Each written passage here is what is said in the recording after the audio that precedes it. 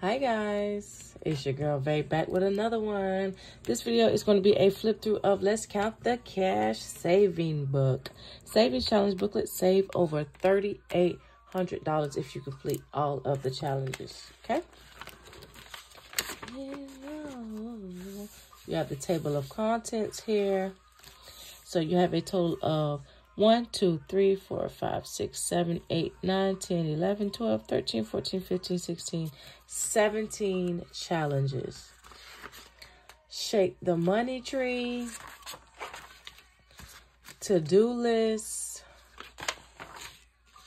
Menu. I need me some fried rice right now. Reading is amazing massage and spa. Round and round. Keys to succeed. Self-care challenge. Be the one to save. Vacation, and if you like me, you don't have a bait. It could just be a staycation or a daycation right? Mighty Jungle. Expand your horizon.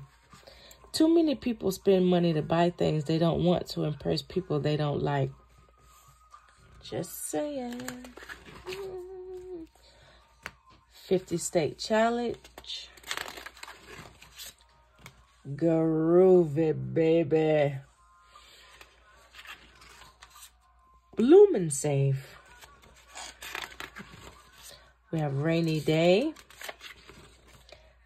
picnic, and at the end of the book, you have the coin challenges. You have the pennies. You save 50 pennies. You roll them up. You save 50 cents. You save 40 nickels. You have $2. And at the bottom of each uh, one of these sheets for the coins, it gives you the amount. 50 pennies, 40 nickels, going to give you $2. 50 dimes will give you $5. And 40 quarters gives you $10, guys. So, if you like this book and you want to purchase it for yourself, a friend, your boo thing, whoever, the neighbor across the street, it doesn't matter. I'll leave the link down below. Go ahead and grab you one.